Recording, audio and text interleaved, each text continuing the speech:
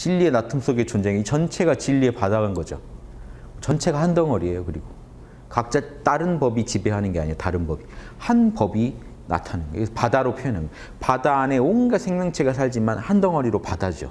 다 그 바닷물 먹고 사는 거 아닙니까? 한 바다죠.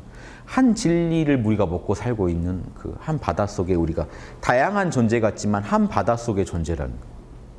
이런 이게 결국 우리 그 일체 유심조를 깨달아야 얻을 수 있습니다. 진리 내가 살아가고 있는 이 우주 모든 존재가 내 참나의 작용이라는 걸 아실 수 있어야 이제 해인 삼매를 얻었다 그래요. 진리의 바다와 하나가 되는 삼매. 이런 거 한번 해보세요. 지금 앉아서 몰라 하면서 전체랑 어떤 벽도 세우지 마시고 다 또 다른 나의 나라고 여기시면서 또 다른 나의 모습이다 하면서 참나 자리도 느끼고 현상계도 느끼면서 얻는 거죠. 참나만 느끼시면 몰라요. 참나도 없고 현상 참나 자리에서 현상계를 바라보면서 참나가 50% 이상 비중만 차지하시면 현상계 전체가 진리랑 둘로 보이지 않고 움직이는 게 있어도 동시에 그러니까 구름은 떠다니는데 하늘은 여여하듯이 진화는 여여하고 참나는 여여한데 그 참나의 작용으로 생각, 감정, 오감은 이렇게 여동하고 있는 이 전체가 한 덩어리처럼 느껴지시면 그 해인산매를 체험하십니다.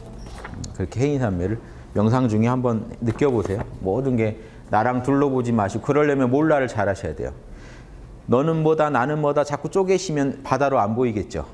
물속에 들어가서도요. 너는 상어고 너는 산호초고 나는 사람이고 이러고 있으면 다 찢어져 보여요. 그런데 전체가 바다인 줄 느끼는 게 중요하니까 몰라가 제일 좋은 해인삼에 얻는 도구입니다.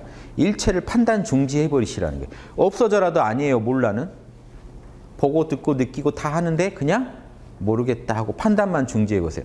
현상계를 보고 듣고 느끼시면서 몰라를 적당히 쓰셔야 돼요. 다 몰라 해버리면 참나로 들어가 버리니까 현상계를 보고 듣고 느끼는 정도는 다 놔두고 따지는 것만 막아보세요. 한번 몰라 해보세요. 그럼 지금 이대로 우주랑 나랑 둘이 아니고 내가 우주의 바닷속의 존재라는 것도 아실 거고 그 근원은 참나 자리라는 것도 아실 거고 몰라만 하고 계십니다. 보고 듣고 느끼는 거는 거부하지 마시고 그걸 거기에 대해 이름 붙이는 것만 몰라 해보세요. 그럼 느낌이 다 다르게 느껴집니다. 오감이, 생각이, 감정이 다 일어나게 두고 내가 거기에 끌려가지만 말고 몰라만 하고 느껴보시면 음, 뭐 그런 산매가 있습니다. 원래 여러분 마음이라 그냥 그렇게 쉬고 계시면 느껴져요. 그렇게 원래 별거 아니에요. 여러분이 그냥 안 따지고 계시면 그렇게 느껴지게 돼 있어요. 원래. 그게 원래 그게 실상이니까. 억지로 생각을 하셔야 되는 게 아니라고요. 잘못된 단체들은요, 가면요, 상상을 하게 만들어요. 온 우주가 너랑 둘이 아니니라, 저 구름도 너랑 둘이 아니니라. 아무리 봐도 둘인 것 같은데, 둘이 아니니라. 근데 둘인 것 같은데, 둘이 아니라게, 아니라고 하게 하려니까, 야, 너 구름 없이 살 수 있어? 막 뭐라고 따집니다. 그러면 그것도 맞는 말이요.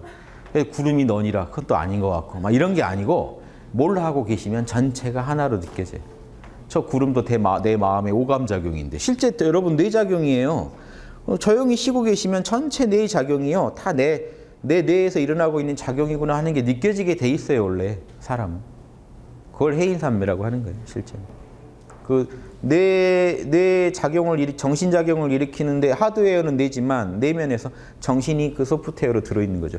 근데 그 정신에서 일어나는 일을 초연하게 보고 쉬고 계시면 정신의 광원이 참나고 그 빛으로 여러분 마음이라는 홀로그램 마음작용이라는 홀로그램 작용이 펼쳐지고 있다는 게 그 광원과 홀로그램이 둘이겠습니까? 광원이 참나고 홀로그램이 꿈일 때는 잘 느껴지시죠? 꿈이라는 홀로그램이 내 마음에서 일어났다. 지금도 똑같이 일어나고 있다는 걸 아셔야 돼요. 여러분 뇌 속에서. 모른다 하고 쉬시면 느껴지게 돼 있어요. 일체 모든 것을 다 모른다 해버리면 참나로 돌아가실 거고 현상계를 남겨두고 모른다를 적당히 쓰시면 분별만 끊어진 채로 현상계랑 둘이 아닌 상태로 존재하실 거고 요건 여러분이 조절하기 따라 다, 다양하게 느끼실 수 있습니다.